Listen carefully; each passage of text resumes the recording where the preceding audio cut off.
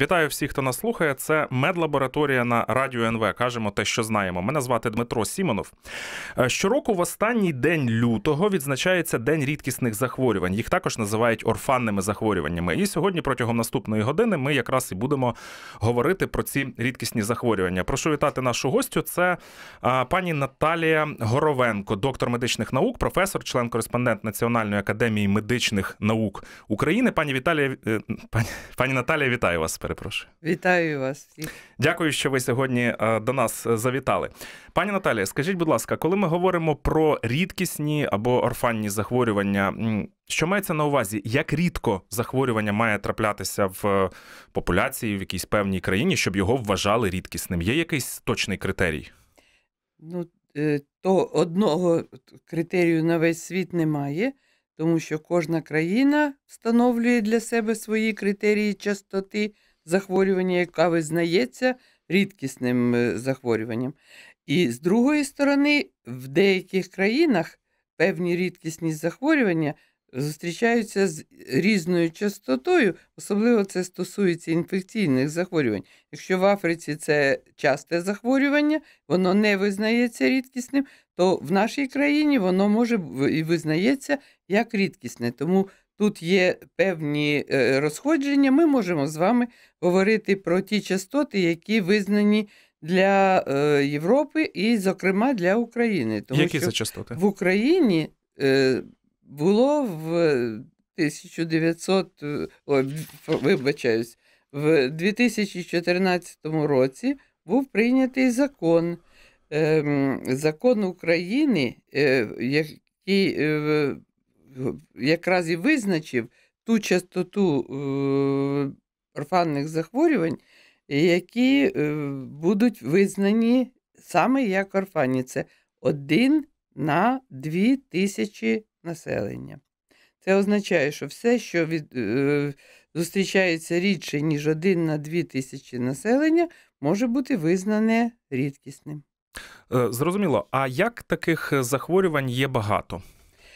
Е, таких захворювань є багато дійсно, е, і в, в інтернет-ресурсів, це великий інтернет-ресурс європейського е, масштабу, в роботі якого приймають участь більше 40 країн, вони єдиний мають підхід, і там вже описано десь близько 7 тисяч захворювань, тобто окремих нозологічних одиниць, які визнані рідкісними захворюваннями.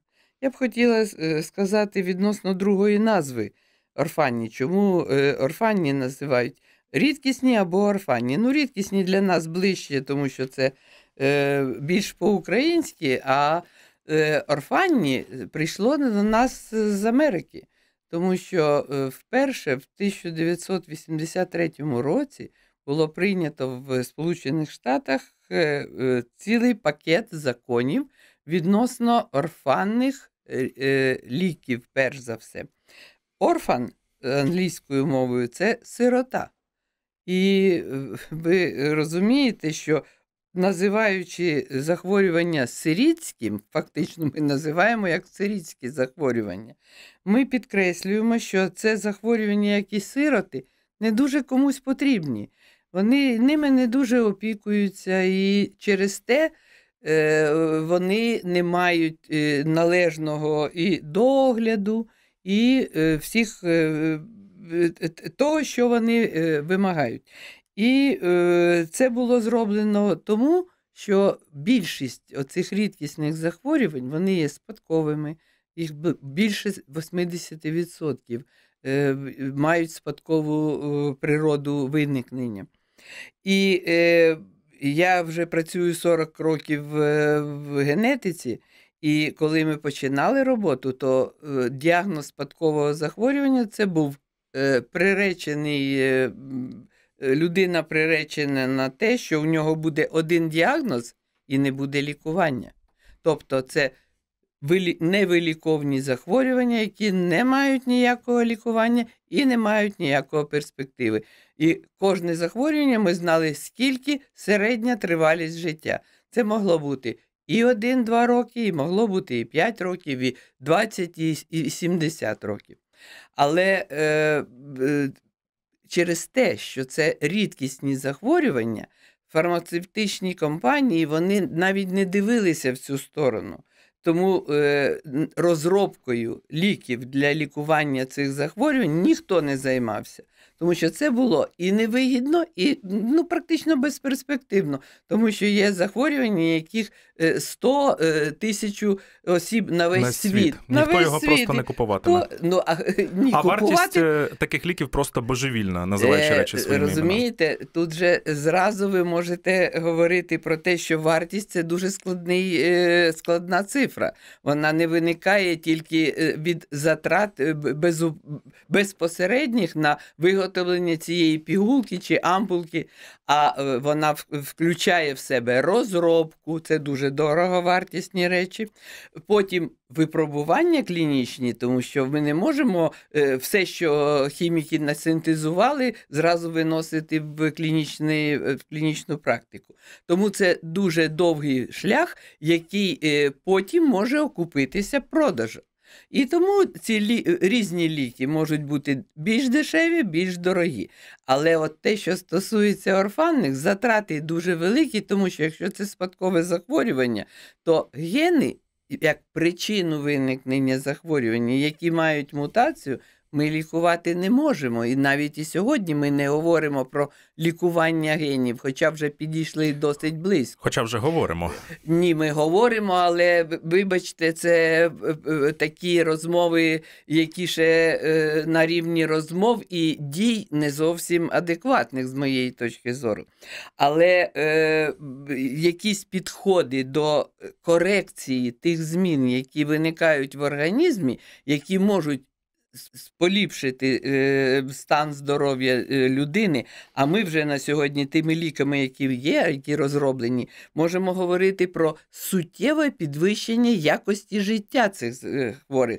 Не говорячи про те, що ми просто зберігаємо їм життя. Якщо у людини, верніше, у захворювання є характеристика середній тривалість життя без лікування 2 роки, а на сьогодні ці хво... Е, ці пацієнти, я навіть їх хворими не дуже можу назвати, вони можуть жити і 20 років, а найбільше це я говорю про муковісцидоз, як приклад. Е, найстарші люди 75 і 80. А в Англії на сьогоднішній день половина хворих з муковісцидозом вони старше 25 років. Пані Наталія, давайте трішки конкретизуємо предмет нашої розмови, тому що ви сказали, що таких е, хвороб, яких називають рідкісними, приблизно в світі відомо 7 тисяч. Я е, готовий сперечатися, що навіть ваші колеги-медики не знають Безумовно. усіх цих Безумовно. назв. І я впевнений, що наші слухачі також їх ніколи не чули і сподіваюся, ніколи не почують. А які є найбільш е, такими відомими на слуху? Ви назвали одна це муковісцидоз. Да, це, це та... муковісцидоз. Що ще які хвороби є? Тут треба сказати сказати, що можна е, ці рідкісні захворювання згрупувати по е, певним напрямкам. Е, те, що я казала про спадкові захворювання, є спадкові захворювання, які пов'язані з перебудовами в хромосомах. Є такі, які викликають зміни через те, що є порушення в генах. Але серед них можна виокремити Е, групу е, так званих метаболічних спадкових захворювань. Це означає, що їх всіх об'єднує те, що ті всі зміни, які відбуваються в організмі людини е, у цього пацієнта, вони пов'язані з тим, що дефектний ген він сприяє тому, що формується дефектний білок. А цей білок виконує свою функцію неправильно. І після цього закручується вже Е, сценарій е, розвитку змін в різних органах і системах. І оці е, спільні такі умови, що нема ферменту, ну немає чи знижена активність, чи е, змінена його дія, але сама сутність е, лежить у ферменті, його недостатності. Якщо ми зможемо її е, замістити, і е, внести ззовні в організм людини і сказати: ось тобі фермент, і він буде працювати, і він буде працювати саме головне то е, ми зможемо е, зробити дуже велику справу. І так і є. І перші е, препарати, які були розроблені, тому що весь цей пакет законів, про які я говорила, він був пов'язаний з преференціями ліків, які розроблялися для оцих орфанних захворювань. І тоді е, виникла можливість проводити для групи метаболічних захворювань замісну ферментотерапію. І на сьогодні ми дійсно робимо, і це робиться і в Україні. Я з великим задоволенням хочу констатувати, що у нас е, лікування цих захворювань відбувається вже із 2006 ем, року. Ми перших хворих почали лікувати. Це була гуманітарна допомога, і е, ще ліки були не зареєстровані, але ми вже лікували своїх пацієнтів з хворобою Гоше є хвороба Фабрі, хвороба помпи, е, це метаболічні захворювання, хвороби е, е, інші. Це метаболічні захворювання. І муковісцидоз також належить до ну, цієї... Він він трошки трошки інакше, тому що там дійсно є недостатність тут уже не ферменту, а структурного білка, який повинен вбудуватися в мембрану клітини і регулювати прохід хлору, е, а за ним і води. І через те, що він порушений, цей прохід, е, то всі секрети екзокринних залоз, тобто ті, які виводять назовні свій продукт, вони густі. І через те вторинні зміни, які вже відбуваються, вони призводять до того, що підшлункова залоза е, змінюється суттєво, виникає е, розтягнення цих е, часточок, які, з яких е, створена е, підшлункова залоза, а в легенях слиз, який постійно виділяється, який очищає легені від бруду, від е, мікроорганізмів, він загустий і він дуже важко виділяється, і тому застій цього слизу призводить до подальших змін, суттєвих змін. І тому е, діти е, з муковісцидозом, якщо вони не лікувалися так, як ми сьогодні лікуємо, середня тривалість життя 2 роки. Крім е, спадкових метаболічних захворювань, є ще інші спадкові захворювання, хвороби шкіри, і серед них можна сказати. Е, таке тяжке захворювання, як бульозний епідермоліз. І е, їх називають люди е, метелики. Чому? Вони такі і до шкіри доторкнутися не можна, тому що е, все викликає е, суттєві зміни. І тому е, для них потреба вже не в пігулці і в якомусь препараті, а в засобах по догляду за цими зміненими ділянками шкіри. До е, орфанних захворювань відносяться рідкісні форми онкологічних захворювань, зокрема, рак е, ем, е, різних органів дитячого віку.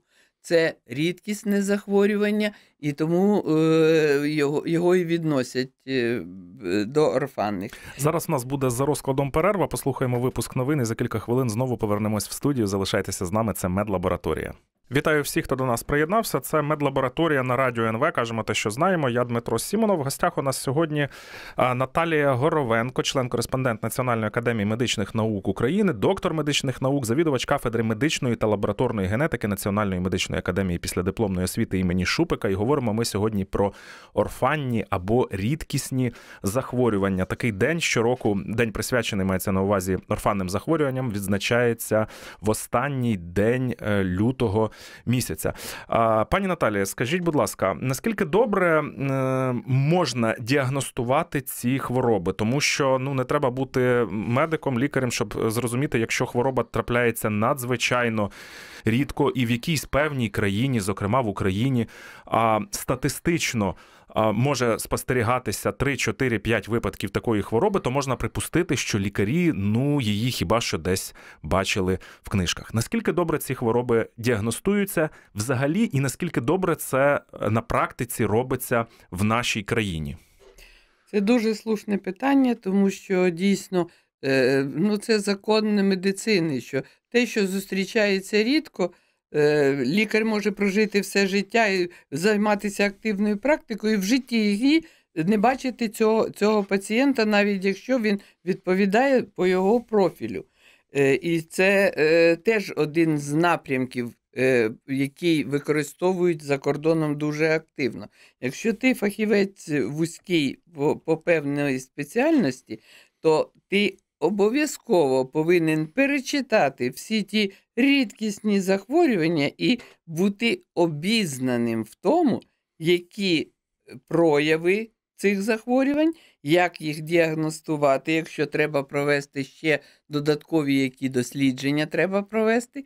І тому, коли вони здають екзамен, то серед е, багатьох е, питань є і е, дуже багато тих, які відносяться до рідкісних захворювань, діагностики і лікування. Те, що стосується безпосередньо України, безумовно, основне це знання лікаря, тому що генетик не працює з пацієнтом як на первинній ланці. На первинній ланці працює лікар.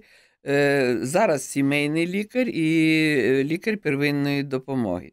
Якщо він не запідозрить спадкового, наприклад, захворювання або е, тої рідкісної іншої хвороби, то е, цей хворий не одержить діагноз. Ну, в крайньому випадку, це е, батьки, які шукають будь-яких засобів, щоб е, якось пролікувати дитину, будуть е, колупатися в інтернеті, і е, не секрет, що в багатьох випадках приходять уже.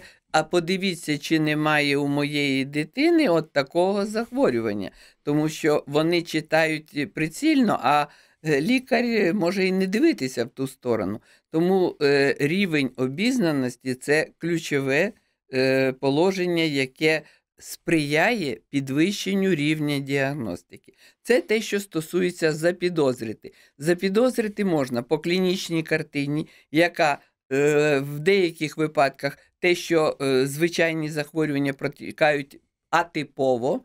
Тобто не так, як у всіх, не так, як звикли, це повинно викликати певні е, питання. Все, що стосується з не таким розвиток дитини, е, динаміка розвитку, тому що дитина сиділа, ходила, сміялася, а потім вона чомусь перестає це робити, і йде регрес її розвитку. Це обов'язковим є е, приводом для звернення, зокрема до генетиків, тому що орфанні ми з вами сказали, що це близько 80% спадкові захворювання.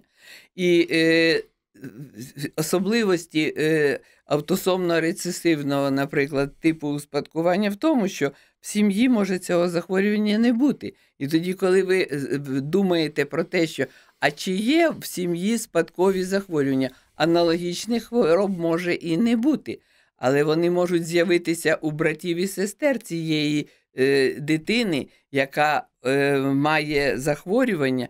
І у нас було дуже багато випадків, коли ми діагноз ставили другій дитині вже в періоді новонародженості, тому що ми знали, що може у неї бути. Ми поставили вже діагноз лабораторний цій е, дитині, яка, на жаль, вже відійшла в інший світ.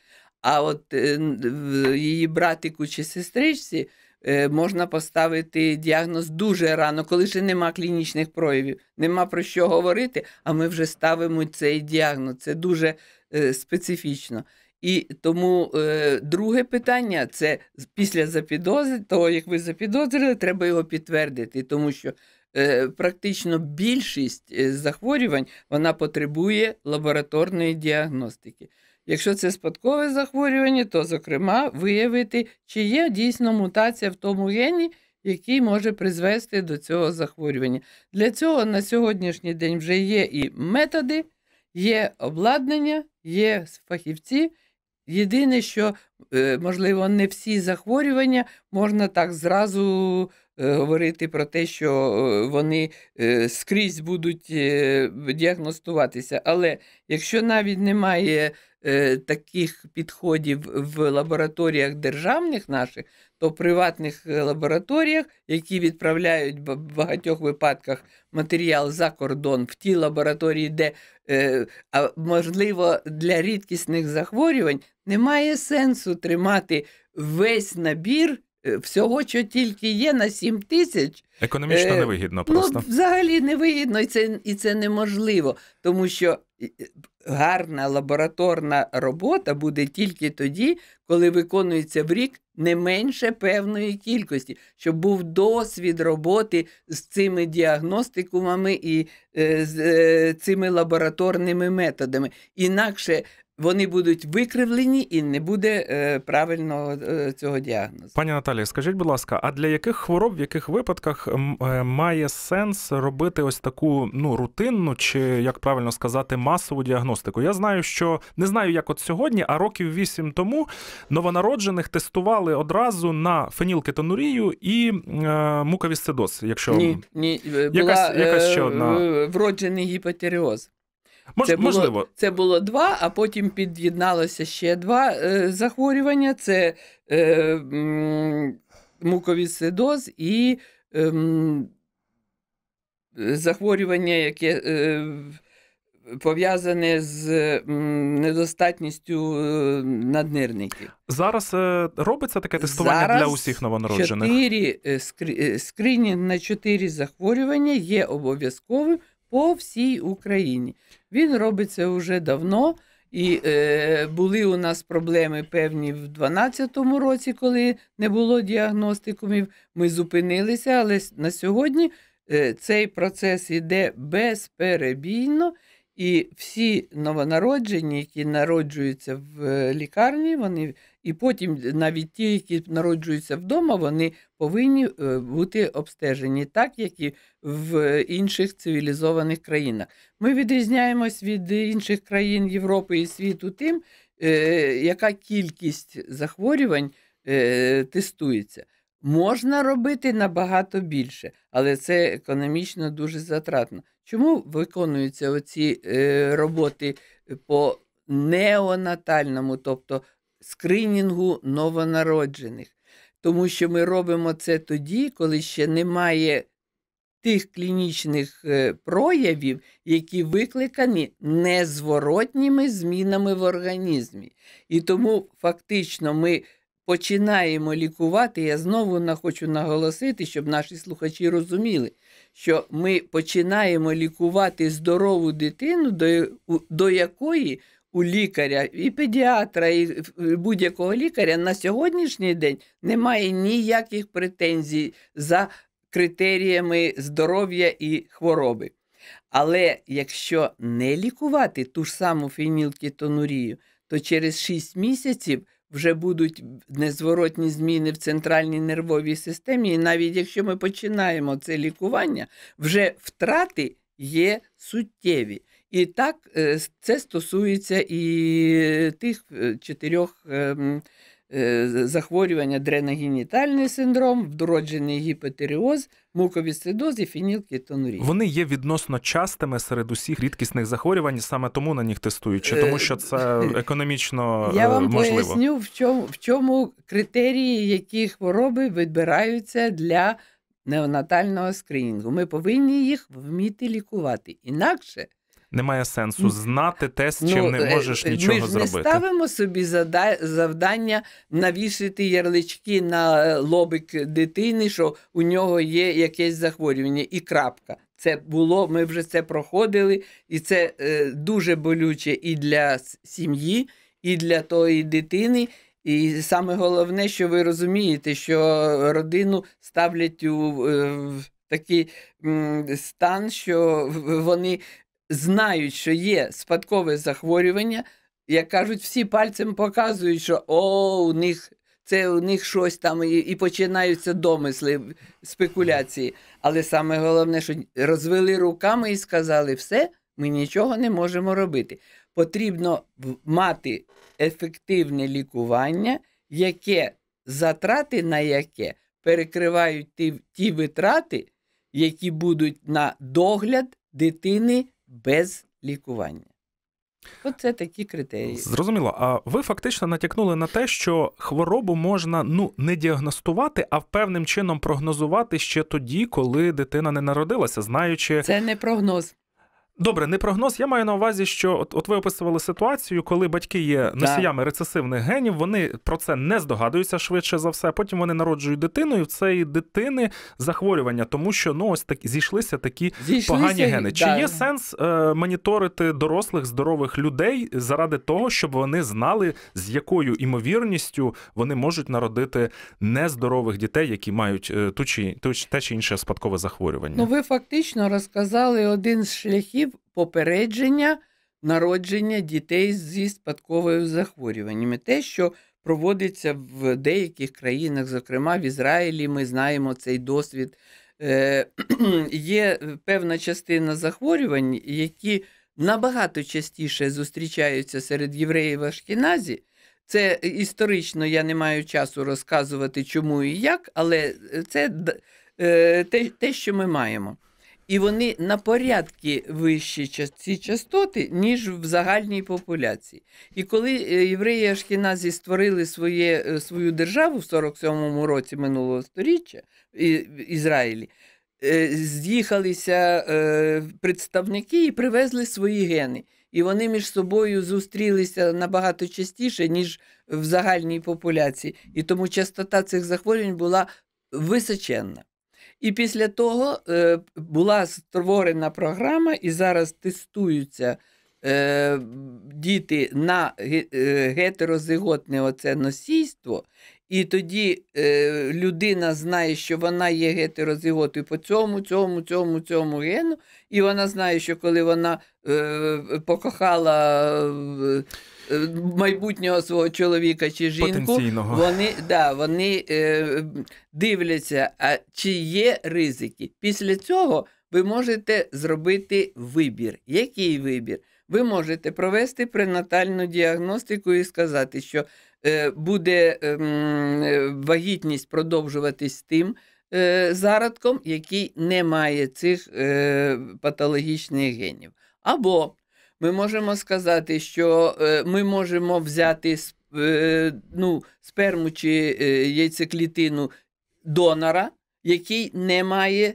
І тоді одна, один з батьків буде рідним для цієї дитини, а другий. І третє, це ви можете просто всиновити дитину. Тобто ці шляхи пропонуються, і ми маємо вигляд.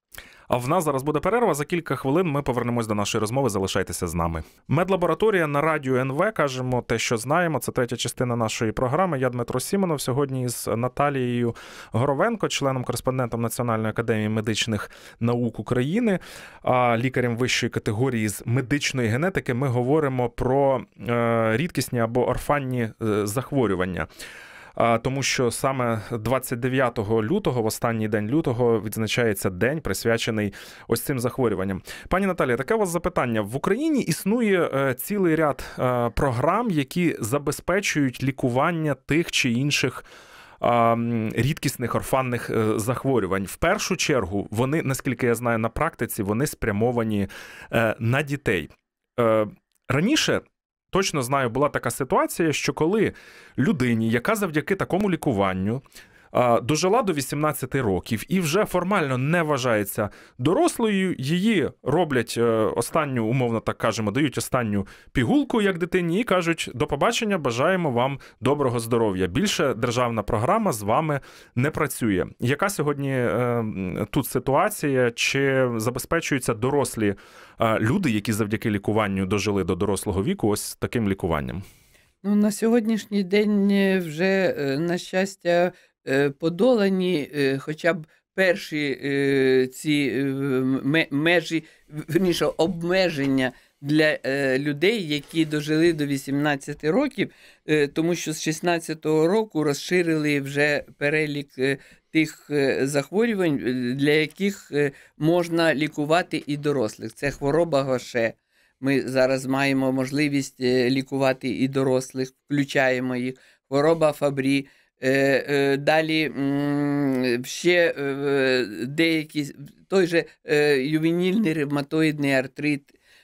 І це дійсно проблема дуже серйозна, тому що державні програми і місцеві програми. А зараз, ви знаєте, є певні е, такі складності, е, хто буде закуповувати е, ці дороговартісні. Це ж ми не, не приховуємо, що е, це лікування дуже дороге. Не дороге, а дуже дороге. І тому е, нам важливо, щоб е, ті люди, які розпочали лікування своє, вони досягли певного успіху, якщо ми припиняємо лікування, то вони зразу все втрачають. І тому і посадовці, і е, власне суспільство повинно розуміти, що якщо ми взяли на себе відповідальність і почали лікувати цього хворого, то він досягає успіху,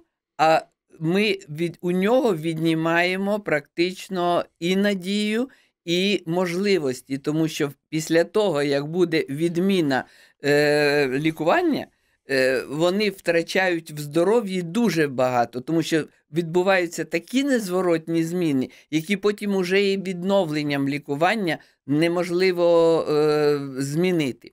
І е, це є, але над цим треба ще дуже багато працювати, щоб ми прийняли статус, що Е, не тільки для дітей. Ну тому що чому виникла така колізія? Тому що не було дорослих взагалі. Е, Проблеми цієї цієї не було. Ніхто не, не, не доживав. Кажуть. Ніхто не доживав. То чому ним цією проблемою треба займатися? А от коли ми вже е, довели цих е, дітей і в досить хорошому стані, то тоді ця проблема безумовно виникла, і вона знову це фінансовий тягар, це збільшення фінансового тягару. Але е, якщо держава і суспільство е, приймає е, той виклик природи, коли існують е, люди, які потребують нашої допомоги, зокрема і фінансової, і ну тут не тільки фінанси, тому що треба належний рівень надання медичної допомоги. І це можна зробити тільки в спеціалізованих центрах. Не може сімейний лікар приділити увагу цьому пацієнту з орфанним захворюванням з тим же бульозним епідермолізом, тому що в нього часу не хватить і знання не хватить. Він не не повинен цим, е, це не входить в його функціональні обов'язки. І тому проблема створення спеціалізованих центрів, особливо сьогодні, коли йде е, реформування медичної допомоги в Україні це повинно стояти на е, одному з чільних місць. Е, без цього ми не вийдемо з цієї е, проблеми. Коли ви згадали про дуже дороге лікування, я ось в першу чергу подумав про спінальну м'язову атрофію. Я знаю, що до недавнього часу Хоча ліки від цієї хвороби досить ефективні у світі існують, ряд країн їх використовує в Україні. Їх не було. І я знаю, що були випадки, коли а, діти з України лі... їхали лікуватися в сусідню а, Польщу. Яка ситуація зараз е, із цією хворобою та лікуванням її я в Україні? Я не можу сказати, чи вже закупається, але я хочу озвучити ціну. Е, одна ін'єкція коштує 125 тисяч доларів. І потрібні вони не одна на рік. І не одна на рік, вона йде це по схемі, йде е, там е, двічі на місяць, потім ну, це йде схема. Але це не одна ін'єкція, і тому десь приблизно 700-800 тисяч доларів іде. Але ем, крім цього. Якщо не е, включати ці е, ліки без, безпосередньо як е, хіміч, хімічна речовина, вони потребують на етапі, коли вже досить серйозні зміни, вони потребують і додаткової вентиляції легень, вони потребують крісла спеціального для того, щоб пересуватися, і, і таке інше. Я хочу сказати, що Україна безумовно на на шляху на, ну, робить ну, не перші кроки, але тільки на початку шляху надання Е, допомоги е, хворим з орфанними захворюваннями в повному обсязі. Тому що е, я, наприклад, була в Канаді ще в 95-му році, і ми були в філармонії, де спеціально обладнані площадки, де приїжджають і привозять пацієнтів, в тому числі із м'язовою дистрофією, з штучною вентиляцією, вони приїздять і вони слухають концерт е, класичної музики. Е, це дуже великі е, такі вимоги до держави, тому що затрати величезні. Ну а поки що ми говоримо про те, що ці люди мають жити і мають Безумовно. жити повноцінно. Е, це вже питання інклюзивності, не не зовсім медичне питання. Е, так, е, інклюзивність це як суспільство сприймає їх. Як е, відноситься е, соціум е, до того, що соціум може дати, і що ці люди дають соціуму, тому що практично ці люди вони гартують е, е, суспільство, і вони виховують суспільство, виховують в доброті, в гуманності, і це е, не тільки екзамен на гуманістичність вашого суспільства, але й на те, як кожна людина може сприймати.